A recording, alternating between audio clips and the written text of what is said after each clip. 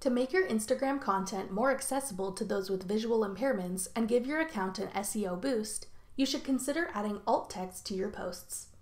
I'm Jessica from techboomers.com, and in this video, I'll be showing you how to add alt text to new and existing Instagram posts.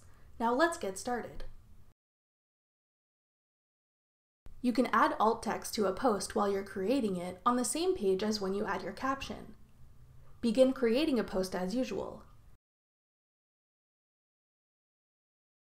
Then once you're finished your caption, scroll down and tap Advanced Settings. Under Accessibility, select Write Alt Text. Write a description of what's actually in your photo or video. This will allow those with visual impairments to get a description of what you've posted, and will tell Instagram's algorithm what you're posting.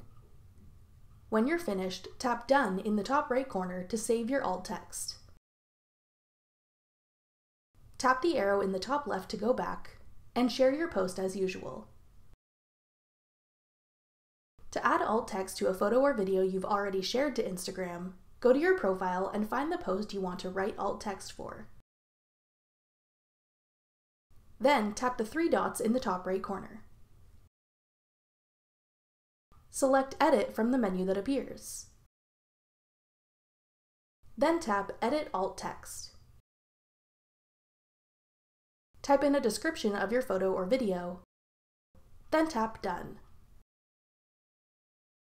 Tap Done again to save it. That's all it takes to add alt text to your new and existing Instagram posts. Thanks for watching. If you found this video helpful, we'd love it if you'd hit the thumbs up button below.